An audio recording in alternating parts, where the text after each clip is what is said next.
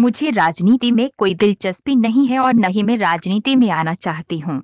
मुझे तो सामाजिक कार्य और भगवान का भजन पूजन करना अच्छा लगता है। यहाँ जो विवाह सम्मेलन आयोजित किया जा रहा है, वह युवाओं का एक सराहनीय कदम है। इस तरह के कार्य होते रहना चाहिए। यह बात प्रधानमंत्री नरेंद्र मोदी की पत्नी जसोदा बेन ने कही। वह मध्य प्रदेश के श्योपुर ज़िले के वीरपुर में अक्षय तृतीया पर आयोजित होने वाले राठौर समाज के विवाह सम्मेलन में शामिल होने के लिए यहाँ आई थी। मंगलवार को दैनिक जागरण के सहयोगी प्रकाशन नई दुनिया से हुई खास चर्चा में उन्होंने कहा कि वीरपुर में जिन युवाओं के द्वारा सामूहिक विवाह सम्मेलन आयोजित कराया जा रहा है, उनसे लोगों को प्रेरणा लेना चाहिए।